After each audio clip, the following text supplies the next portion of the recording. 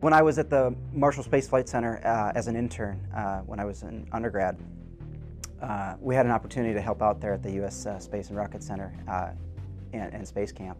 And uh, I was able to teach some classes on the space shuttle and the orbiter, not for kids, but really for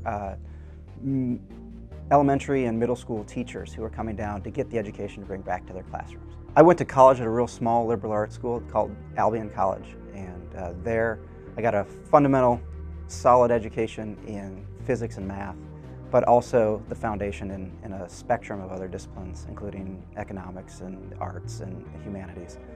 Um, and it was there that I got my first taste of collaborative learning and peer mentorship and and exploration, really. After Albion, I went to University of Rochester, uh, again to continue this, this idea of exploration, and I was uh, a PhD student in high energy physics and was part of an incredible team there, had a, uh, had a superb mentor and uh, advisor, and we were part of a, an experiment with 500 scientists uh, from about 40 universities in 10, 10 countries, and we were at the cutting edge of, of high energy physics. and it was, uh, it was a really exciting time uh, to be there and to be uh, making the discoveries. And after the University of Rochester, I went into the Navy and became a test pilot. You know, it is, uh, it's tough to pick any one thing. Uh, we have gotten to do things like the National Outdoor Leadership Course uh, for a week and a half, um, getting in the pool, the Neutral Buoyancy Lab, and training for spacewalks.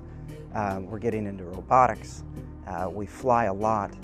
Um, it, is, it is really tough to pick any one thing. Um, I'm surprised at how much I ended up enjoying learning Russian. Um, that is nothing I could have made an excuse to do, and uh, it is just, uh, it's an incredible experience and, and very diverse uh, in terms of the way we spend our time. Um, but for me, I think the, the most interesting thing has been we've got so many different personalities and backgrounds in the group, and it's really neat to, to merge those those strengths and get to a position where we need to be, which is to be ready uh, as a group for the next generation of, of space exploration.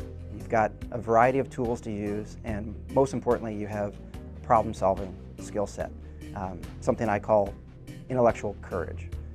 You may not have the background or the expertise in a, in a specific topic, but you do have the courage and, and know how to tackle that problem and, and tackle something that maybe at the outset seems insurmountable and it quickly becomes something that we can handle or even thrive in. Well, that's what makes it fun, right? The hard stuff is, uh, is the fun stuff. It, uh, it's hard for a reason. And uh, for me, I, I just so genuinely enjoy uh, the, the EVA training, the spacewalk training.